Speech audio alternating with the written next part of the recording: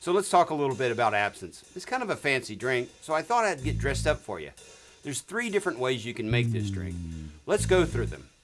The first method is you take the drink, you pour it right into the glass, and then you will take a sugar cube. And you'll put the sugar cube on a special spoon that's made just for this. Place that on there.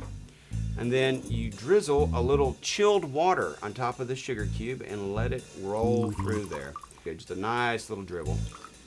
And let the sugar dissolve a little bit into the drink. And as you see, as the water goes into the liqueur, it turns it into a creamy, milky green color. And that's where the name Green Fairy comes from. Hmm. At this point, you'll want to drop the sugar cube in there and you'll stir it up a little bit.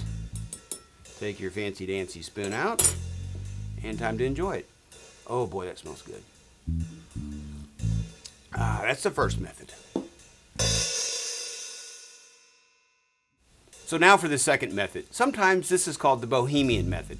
And it's very similar to the other way we made it in that you take a sugar cube, only this time, sugar cube on, pour the liqueur over the sugar cube, that. And now it's time for the fireworks. You take a match, you light her up, and let that caramelize a little bit. The alcohol will burn through the sugar cube and make it into a nice caramel flavor. Exciting, isn't it? All right, so you're going to want to have some chilled water on hand.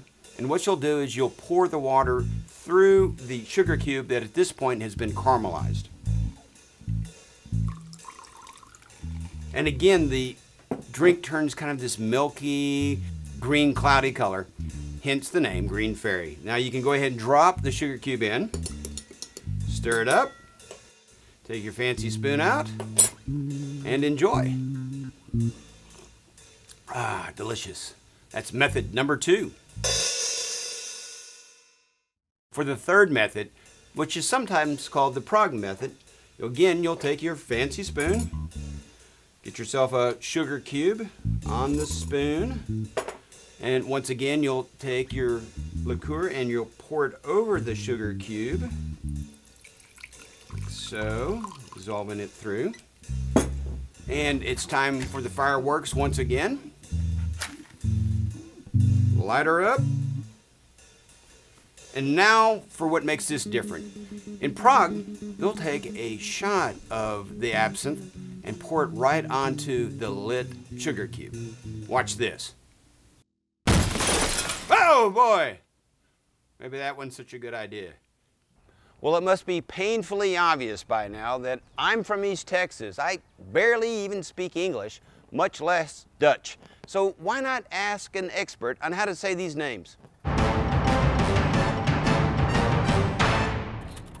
All right, what's it now? So how do you say Vincent van Gogh? Van Gogh. Go, go, go. Van Gogh.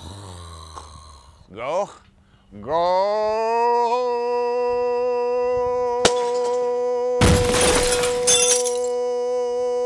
Stop it.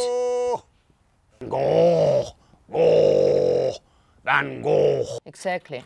Van Gogh. Och, och, och. Something else? His brother was an art dealer. How do you say his name? Theo. Theo van Gogh. I thought it was Teo. Is that Teo? Teo. Teopolis. Teo Acropolis.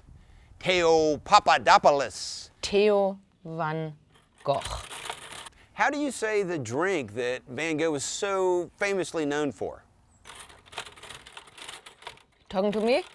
Yeah. How do you say the liquor? I think it's absinthe? Absinthe. Absinthe. Absinthe. Absinthe. Absinthe. Whew. All right. Thanks for trying. That was good information. Now leave, please.